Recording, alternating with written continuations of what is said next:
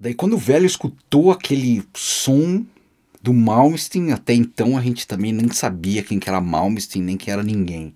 Meu, quando a gente escutou aquilo, quer dizer, ele escutou, né? Meu, ele deve ter tido uns quatro mini infarto, né? De escutar aquilo. O cara pagou a primeira aula e o cara já chegou com o vinilzão do Malmsteen. Meu pai tentou, colocou o vinil, falou, vamos tentar tirar. E lá e catando milho, catando milho, catando milho. Daí meu pai falou assim, ah, vou te passar aqui a introdução. Deu piazão. Eu lembro na época que ele contou, né? Ele falou assim, não tá igual ainda, tem alguns detalhes ali. Meu pai já suando frio, já que ele pegou umas toalhas. e lá eu escutava e catava. Ele falou, ah, não, mas não é bem assim, não é isso. Ele pegou, conversou com o cara, falou, eu posso te passar umas outras coisas e tudo mais. E o cara falou, não, mas eu não quero. Queria aquele lindo disco. Eu falei, nossa. Daí eu acho que meu rolou do meu pai devolver o dinheiro pro cara, daí, daí ferrou. Daí meu pai me chamou, falou assim: olha, negócio é o seguinte, pega aquele CD lá do Steve Vai lá, escuta lá, que lá você tem que tocar aquilo. Tocar aquele negócio, tocar esse negócio desse cabeludo louco ali, com a guitarra pegando fogo. É aquilo que você tem que aprender. Falei, pai, mas eu não sei nem por onde começar, não sei. Ele falou, levei uma mijada, velho. Levei uma mijada porque ele falou: você não tá se dedicando, não tá rolando, você tá perdendo teu tempo, você não tá estudando como tem que estudar, você fica aí soltando essa bosta, essa pipa aí, e não sei o que, e você tem que estudar guitarra. Oh, já começou a virar um. Já, já começou a virar complicado pro meu lado. Beleza. Passou um, alguns dias. Meu pai tinha muitos conhecidos e um cara veio com uma fita de um cabeludo, assim, anos 80, assim, com uma guitarrinha amarela, tocando com a mãozinha fechadinha e juntando as perninhas, tocando. Eu falei, nossa.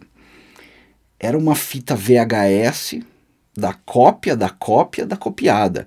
Então, meu, quando você vai fazendo cópia, cópia, cópia, vai perdendo muita qualidade.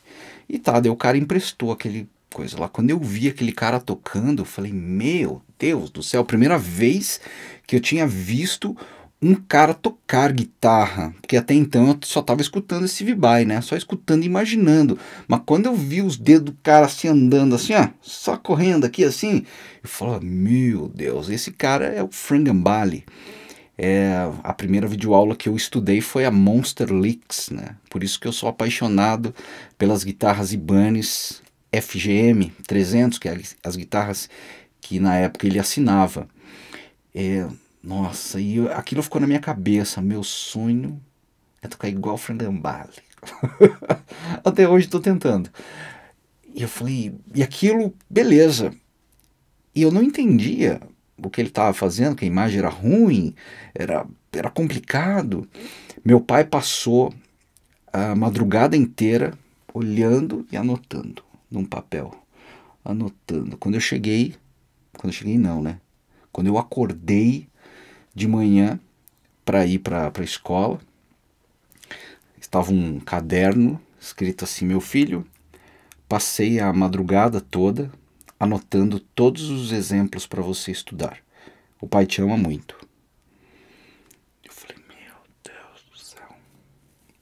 E eu confesso que durante a madrugada eu peguei, acho que eu levantei, tava escutando aquela guitarrinha, down, up, down, down, up, down, down. Falei, a ginástica, será? Não, era o frangambale. Falei, puta, eu voltei a dormir. Ele tava realmente de madrugada lá anotando. Quando eu acordei e vi aquele caderninho anotado, eu falei, meu Deus. Fui pra escola e fiquei pensando naquele caderninho. Falei, puta, coitado do meu pai, velho.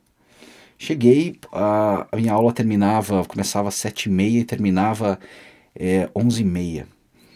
Chegava em casa umas dez para o meio-dia. Meu, eu lembro que eu almocei, eu tava também empolgado, né? Porque eu queria ser o Steve Vai, eu queria ser o Frangambali. É, falei, nossa, meu, eu vou, vou começar a estudar. Fiquei, aquele dia eu fiquei do meio-dia e 15 mais ou menos, almoçava bem rápido, e fiquei o dia todo, né? Já estava na hora de eu peguei. É, eu lembro que nestes dias, não foram um, nem dois, foram vários. Eu lembro que eu pegava a guitarra logo depois que eu chegava da escola e encostava a guitarra e dormia. Então era isso, né? Então eu ficava o dia todo. Por isso, aquele lance das oito horas por dia. Meu, se não for, não vai.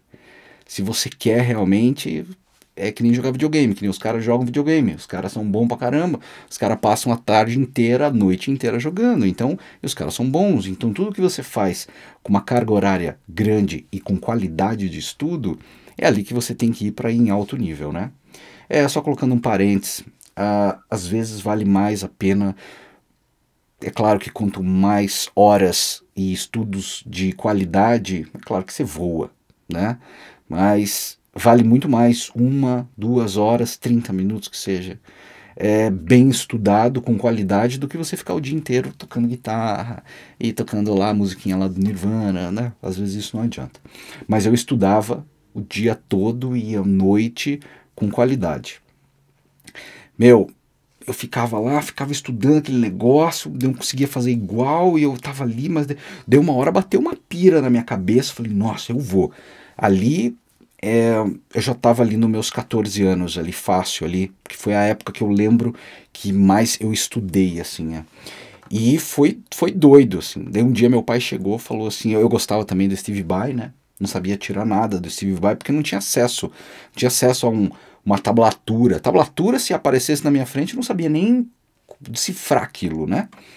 É, mas ali no vídeo era mais fácil, né? Meu pai anotava. É, meu pai não anotava em tablatura, ele anotava assim um, um sistema assim de velho, né? Era tipo corda 6, eles consideravam como 60. O que, que é 60? É o 6 da corda 6 e o 0 do 60, né? Corda solta. Então, 60 é. Certo? Corda 6, 0. 61 quer dizer corda 6, 1. 65 quer dizer corda 6, 5. O 10 aqui no caso, né? 10 é solta, 11 é apertada e assim por diante. Então eu ficava ali no, nos números ali, basicamente nessa região. É, depois, eu, depois eu não entendo, né? Como que ele anotava. Não, não sei como que ele anotava essa parte de baixo, que ia ficar meio complicado, né? Mas basicamente estudava aqui em cima, né? Então ficava lá 44, 50 e 51 e, né, e assim por diante. Era assim que a, que era a anotação do negócio. É, nossa, quando eu vi 500 milhões de números, eu falei, pai, que diacho de número é esse? O que, que é 54? Ai, ele explicava, né? 50, 5 é a corda aqui e 4 aqui, é 54. Eu falei, ah, tá, então tá bom. E eu ficava ali naquela doideira. Daí um dia ele chegou, eu já estava estudando, estava ali, né, ferrado ali na guitarra. Daí tinha um arpejo que o Frangambalho fazia, que eu, nossa senhora, que era lindo de ver ele fazendo. E ele falou: Ó, a hora que você conseguir fazer esse arpejo, eu vou te dar essa guitarra. Nossa, velho, é a Gen 7VBK, aquela que apareceu é, em outro vídeo aqui, é, a preta com captador verde. É, digamos assim, se aparecer essa guitarra eu compro, mas também eu não tô aqui desesperado, né? É, teve um cara que até me ofereceu essa guitarra, que dava pra comprar uma casa. Eu falei, velho, a gente quer, mas também não tá, não tá desesperado, né? O meu sonho maior era ter a frangambalha amarela, porque era do Monster Leak. Então eu já realizei. Então as guitarrinhas que eu tive vontade de ter, que eu, é, na época, eu que aparecer, apareceu. Se não aparecer, também não sou otário de pagar o preço que os caras pedem. Mas é, o meu maior sonho era ter a frangambalha amarela, que graças a Deus eu tenho ela e duas verdinhas. Mas foi doido. Daí eu comecei a estudar aquilo, daí eu mostrava pra ele, ó oh, pai, tá bom já o arpejo? Ele falou, não tá igual. Tá bom? Não, não tá igual, não tá igual. Nossa, meu, doideira. E eu ficava ali horas. Daí uma hora eu enchi o saco de Frangambali, daí ele conseguiu um, um esquema lá do Vini Moore pra eu estudar, daí eu começava a estudar videoaula do Vini Moore, não sabia usar nada, né? E já começava ali, né? Mas sabia improvisar, não sabia pentatônica, não sabia tocar, não tinha backing track na minha época. Então, meu, era bem complicado. Eu sabia fazer um monte de exercício, mas nenhum exercício eu conseguia aplicar. Nossa, meu, era uma doideira. Por isso que a galera às vezes pira, fala assim: "Eu oh, estava um cronograma de estudo". Eu falei: "Meu, você não é uma receita de bolo. Você viu que o meu começo foi tudo estranho, tudo errado, tudo diferente.